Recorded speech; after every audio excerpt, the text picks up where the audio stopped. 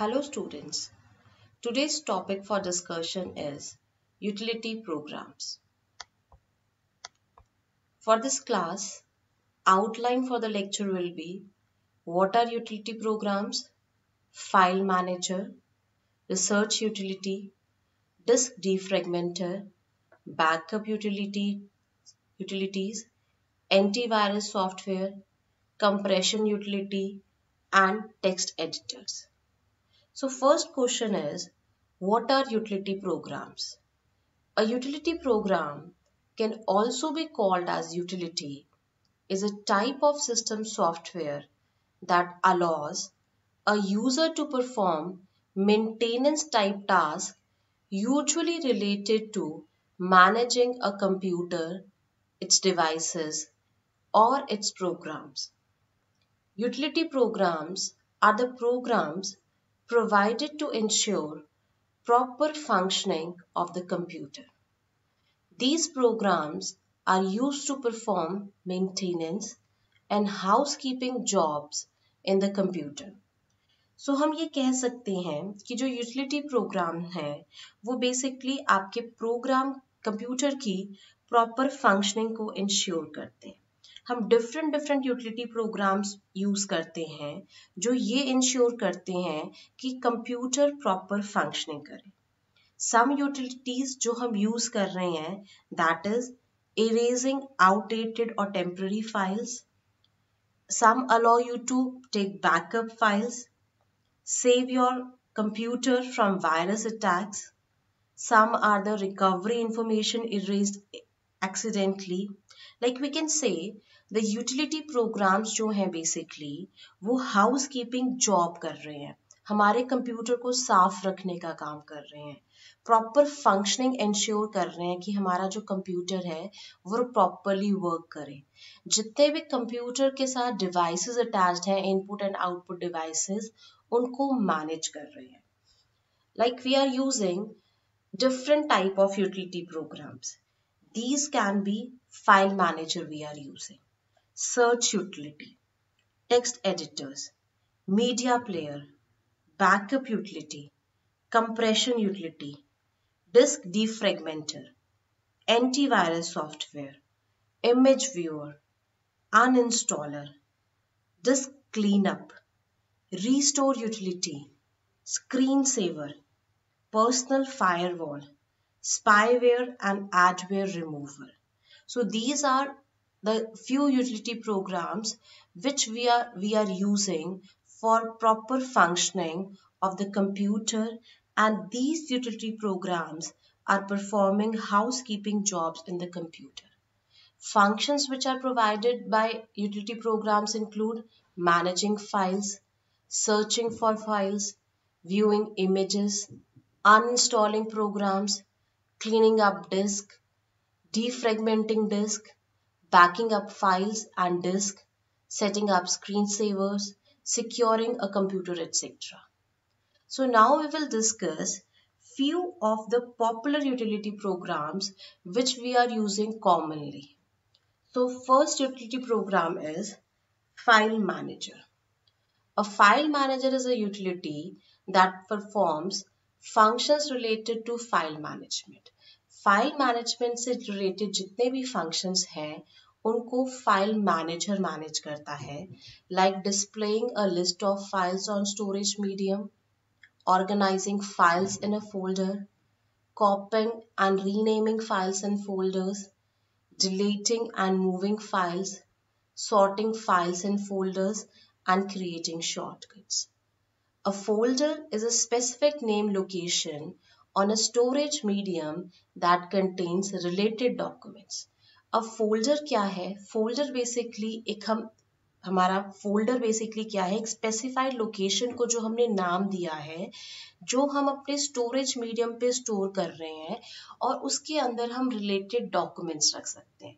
Let's say मैंने अपनी file को नाम दिया, अपने फोल्डर को नाम दिया है ऑपरेटिंग सिस्टम और उस फोल्डर के अंदर मैं जितनी भी प्रेजेंटेशंस क्रिएट कर रही हूँ for the operating system I am storing that document that means उस फोल्डर के अंदर हम जितने भी रिलेटेड डॉक्यूमेंट्स हैं स्पेसिफिक टू फोल्डर नेम वो स्टोर करते हैं. Like in my example if I am creating a folder operating systems within that I am storing all the presentations related to operating system.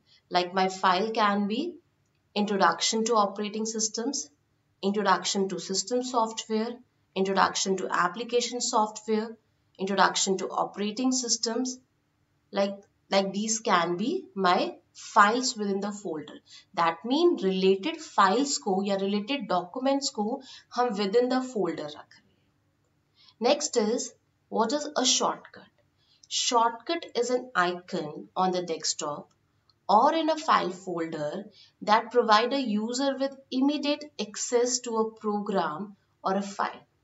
Shortcut basically क्या है? एक icon है आपके desktop पे, जिसको आप इमिडिएटली क्लिक करके ओपन कर सकते हैं और अपनी फ़ाइल को या फिर अपने प्रोग्राम को एक्सेस कर सकते हैं। So a file manager is also called as file explorer. So this is the image of a file explorer where you can see all the drives and all the folders which we are commonly using in the computer. Next is search utility.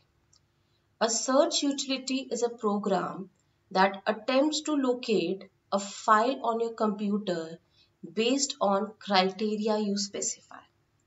The criteria may include a word or words contained in a file, date of creation or modification, size of the file, location, file name, author, and other properties. In Windows, Explorer and the Start menu contain a search box where you enter the search criteria. Important चीज़ ये है कि जो search utility है, वो basically क्या है? एक programme है जिसको हम यूज़ करते हैं टू लोकेट फाइंड करने के लिए किसी फ़ाइल को। किसी भी फ़ाइल को जब हमने लोकेट करना या फाइंड करना है उसके लिए हम सर्च यूटिलिटी यूज़ करते हैं। सर्च हम कर सकते हैं based upon any word let say if I have to search multimedia related file जो मैंने अपने कंप्यूटर में स्टोर करी हुई है तो मैं with in the file explorer जो सर्च बार है, उस पर जाके सर्च करूँगी multimedia but I am using I am using a word जितनी भी फाइल्स में मल्टीमीडिया वर्ड आ रहा होगा सर्च एक्सप्लोरर या सर्च यूटिलिटी मुझे वो रिटर्न करेगी। जो सर्च यूटिलिटी है, उसमें आप वर्ड्स यूज़ कर सकते हो। डेट ऑफ़ क्रिएशन के अकॉर्डिंग सर्च कर सकते हैं आप। साइज़ ऑफ़ फ़ाइल लोकेशन के अकॉर्डिंग फ़ाइल नेम के अकॉर्डिंग ऑथर जिसने उस फ़ाइल को क्रिएट किया है। So you can use different search criteria for searching your file so next is I have shown an example इस एग्ज़ाम्पल में मैंने क्या किया है कि मैंने फ़ाइल एक्सप्लोरर का जो सर्च ऑप्शन है, उसको यूज़ किया है। Search criteria have used as a word multimedia word मैंने सर्च किया है। जितने भी फाइल्स में मल्टीमीडिया था कंप्यूटर ने या सर्च यूटिलिटी ने एज अ रिज़ल्ट मुझे वो सारी की सारी फाइल्स रिटर्न कर दी हैं। So I can check for my own file जिस फ़ाइल के लिए मैं सर्च कर रही थी, उसको मैं चेक कर सकती हूँ। Now next is disk defragmenter disk defragmenter is a utility that reorganizes the files and unused space on a computer's hard disk so that the operating system assesses data more quickly and programs run faster. Disk defragmenter utilities are used to reduce fragments created on the disk Fragments are actually the small portion of unused disk space left between the used area of the disk. Due to this, Parts of a single file are stored on separate locations on disk which results into longer file access time. Disk defragmented basically एक तरह की utility है जो files को reorganise करती है। जब भी हम अपनी फ़ाइल को सेव कर रहे हैं फाइल्स फ्रेगमेंट्स के फॉर्म में स्पेस लेती है। पर हो सकता है कि जब आप डेटा को स्टोर कर रहे हैं अपने कंप्यूटर हार्ड डिस्क में, कुछ जो फ्रेगमेंट्स हैं वो खाली रह जाएँगे, ठीक है? फ्रेगमेंट्स बेसिकली क्या है? स्मॉल पोर्शन है। आपके डिस्क स्पेस का जो बीच में अनयूज रह गए हैं। मतलब हो सकता है फ़र्स्ट फ्रेगमेंट है, उसमें एक फ़ाइल स्टोर है। सेकेंड फ्रेगमेंट में एक फ़ाइल स्टोर है। थर्ड जो आपका फ्रेगमेंट है, वो खाली है अनयूज डिस्क स्पेस है। नेक्स्ट फ्रेगमेंट में भी कुछ डेटा आपने स्टोर किया है। तो डिस्क डीफ्रेगमेंटर क्या करता है? फाइंड करता है सारे फ्रेगमेंट्स को अनयूज फ्रेगमेंट्स को अनयूज डिस्क स्पेस को, जो आपके डिस्क में खाली रह गए हैं। फिर उनको फाइंड करने के बाद एक लार्ज फ़ाइल या सिंगल फ़ाइल बना देता है सेपरेट लोकेशन जिसपे आप अपनी फ़ाइल को जो भी आप न्यू फ़ाइल क्रिएट करेंगे उसको आप स्टोर कर सकते हैं जो Windows contain an inbuilt disk defragmental utility.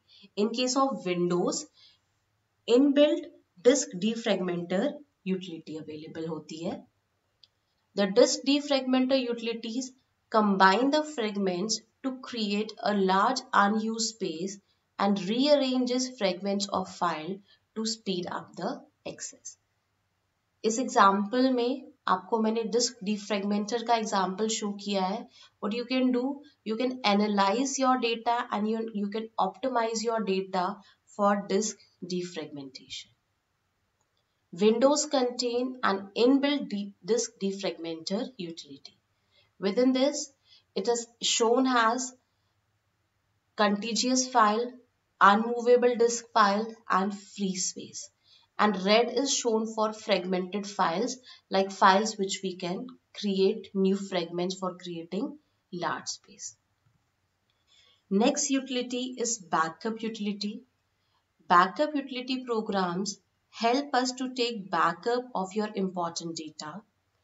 Backups are generally taken to retrieve data in case of any damage to the original data. The files are backed up to floppies, CDs and tape drives using these programs and when there is a need, the backup is restored in the system. Many backup programs compress or shrink the size of files during the backup process requiring less storage. A backup utility जो है this is very very important utility this utility is very important for your important data backup utility को basically हम use कर रहे हैं to retrieve data in case of damage of original data कि अगर हम अपने ओरिजिनल डेटा को सेव करना चाहते हैं तो हम क्या करते हैं? अपने डेटा का बैकअप ले लेते हैं और इन केस अगर हमारे ओरिजिनल डेटा का कोई डैमेज हो जाता है तो हम बैकअप से रिट्रीव कर सकते हैं। बैकअप जो फ़ाइल है, उनको फ्लॉपीज या सीडीज या और प्रोग्राम्स में हम यूज़ कर सकते हैं स्टोर कर सकते हैं और बैकअप को हम रीस्टोर कर सकते हैं। बैकअप जब हम ले रहे हैं किसी भी फ़ाइल का तो वो फ़ाइल को हम क्या कर लेते हैं? कंप्रेस कर लेते हैं। कंप्रेस करने का मतलब है कि जो ओरिजिनल साइज़ है, उस साइज़ को हमने श्रिंक करके न्यू स्मॉल साइज़ की फ़ाइल क्रिएट कर ली है और उसको लेस स्टोरेज स्पेस पे सेव कर लिया जब हमने अनकम्प्रेस करना है तो हम क्या करेंगे? अनकम्प्रेस कर देंगे फ़ाइल और फ़ाइल दोबारा से अपने ओरिजिनल साइज़ में आ जाएगी। जो भी हमने बैकअप जिस भी जगह पे बैकअप को स्टोर करना है, उस जगह पे हम कंप्रेस फ़ाइल को भी स्टोर कर सकते हैं और अनकम्प्रेस फ़ाइल को भी स्टोर कर सकते हैं। बट ज़्यादातर जो बैकअप प्रोग्राम्स है, वो कंप्रेस कर लेते हैं डेटा को, ताकि बैकअप जो है, वो लेस स्टोरेज स्पेस यूज़ करे। Next is antivirus software. Antivirus software protect the computer against malicious programs called virus. A virus is a malicious program that disrupts the normal functioning of the computer. Antivirus guard the computers against virus infections and removes if any found in the files stored on the disk. Antivirus हमारे computer को viruses से protect करता है। Virus basically क्या है? कोई भी malicious programme है जो हमारी नॉर्मल फंक्शनिंग को डिसरप्ट कर रहा है नॉर्मल फंक्शनिंग ऑफ़ कंप्यूटर को खराब कर रहा है।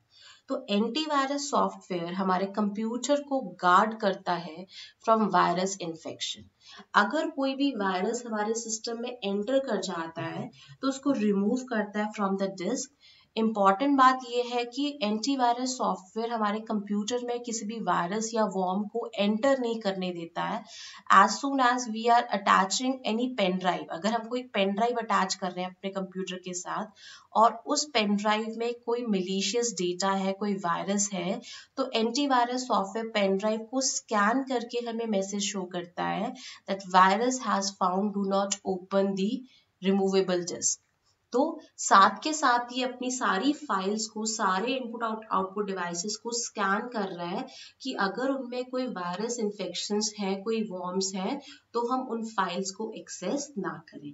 अगर वायरस मिल जाता है तो उसी टाइम हम उसको क्या कर सकें? रिमूव कर सकें। Advance antivirus software remain active all the time and scan each and every file being used by the computer. They also scan every file being downloaded from the internet including emails.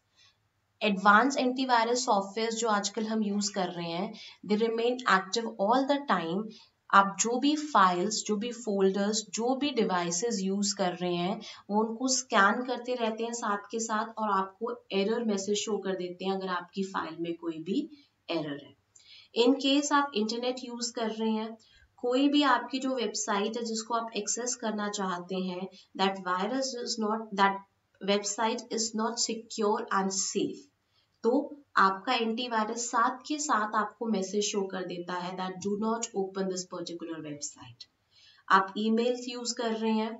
Email में भी अगर आपकी कोई file जिसको आप download करना चाहते हैं that file is not safe to download and that file is not secure तो भी एंटीवायरस क्या करता है उस फ़ाइल को स्कैन करके आपको मैसेज शो कर रहा है we have different antivirus software av available these days that is avira kaspersky norton avg so you can use any antivirus software according to your requirement to keep your system secure from viruses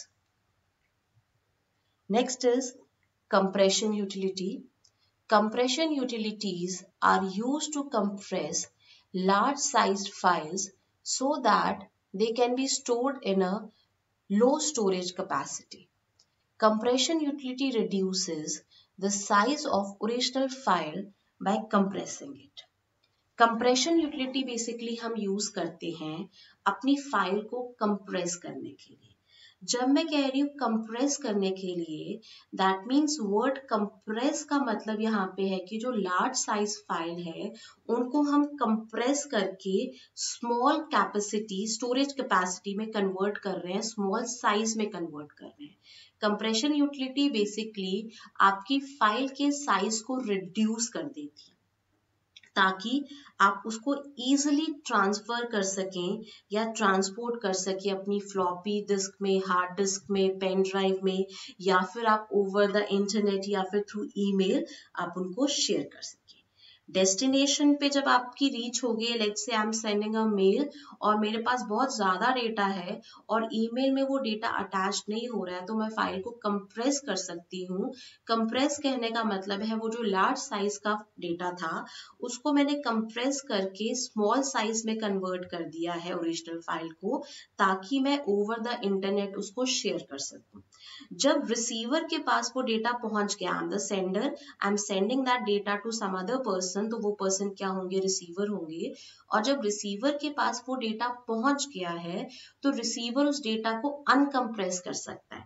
uncompress करने का मतलब है कि जो data small size में है, उसको दोबारा से ओरिजिनल फ़ाइल साइज़ में कन्वर्ट कर सकता है। ठीक है? तो एट द डेस्टिनेशन जब डेटा रिसीव हो गया है तो हम क्या कर सकते हैं? डेटा को अनकम्प्रेस भी कर सकते हैं अपनी फ़ाइल को अनकम्प्रेस कर सकते हैं basically we are using compression utilities to convert large size file or to compress large size files into low or small size files so that we can share those files over the internet or we can transfer that files to pen drives or or hard disk or hard drives.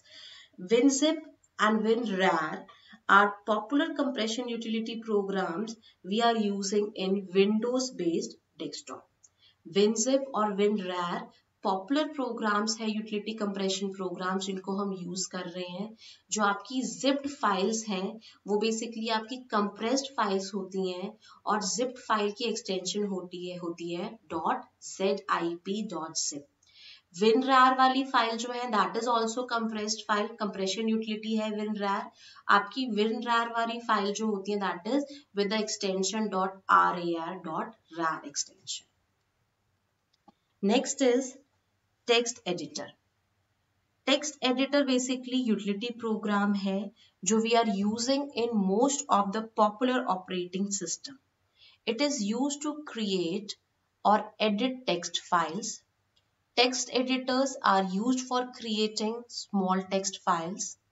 They allow to create new files, save files to disk, open files for editing and printing files. Text editor को basically हम use कर रहे हैं अपने text file को create करने लिए text को क्रिएट करने के लिए या फिर जो एग्जिस्टिंग टेक्स्ट फ़ाइल है उसको एडिट करने के लिए टेक्स्ट एडिटर को यूज़ करके हम स्मॉल टेक्स्ट फाइल्स बना सकते हैं। कोई भी न्यू फ़ाइल जनरेट कर सकते हैं। कोई एग्जिस्टिंग फ़ाइल को ओपन करके हम एडिट कर सकते हैं। प्रिंट ऑपरेशन परफॉर्म कर सकते हैं। बेसिकली जो आपके सारे विंडोज़ ऑपरेटिंग सिस्टम में जो टेक्स्ट एडिटर अवेलेबल है that is operating system within the operating system जो टेक्स्ट एडिटर अवेलेबल है दैट इज़ नोटपैड नोटपैड ऐसा टेक्स्ट एडिटर है जो सारे विंडोज़ ऑपरेटिंग सिस्टम में बाय डिफ़ॉल्ट ओरिजिनली अवेलेबल होता है और आप नोटपैड को यूज़ करके किसी भी तरह का टेक्स्ट क्रिएट कर सकते हैं न्यू फ़ाइल जनरेट कर सकते हैं एग्जिस्टिंग फ़ाइल को ओपन करके एडिट कर सकते हैं अपनी फ़ाइल को प्रिंट कर सकते हैं। सो so, आज की क्लास में हमने ये डिस्कस किया है कि यूटिलिटी प्रोग्राम्स कौन से होते हैं। यूटिलिटी प्रोग्राम्स वो प्रोग्राम्स हैं जो आपके कंप्यूटर की प्रॉपर फंक्शनिंग को इंश्योर कर रहे हैं।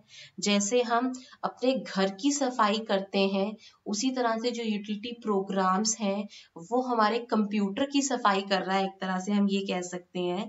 बेसिकली ये जितने भी हाउस कीपिंग जॉब्स है कंप्यूटर की, वो कर रहा है। कॉमनली यूज़ जो यूटिलिटी प्रोग्राम्स हैं, वो है file manager search utility text editor media player backup utility compression utility disk defragmenter and disk cleanup restore utility screen saver image viewer personal firewall and antiviral software spyware and adware software and uninstaller So we are using utility programs to keep our, our computer uh, working good and to ensure the proper functioning of the computer. Utility programs basically we are using to erase outdated or temporary files, to keep, to take backup files, to save computer from virus attack and to recover the information erased accidentally. So thank you so much students. Keep listening, keep sharing.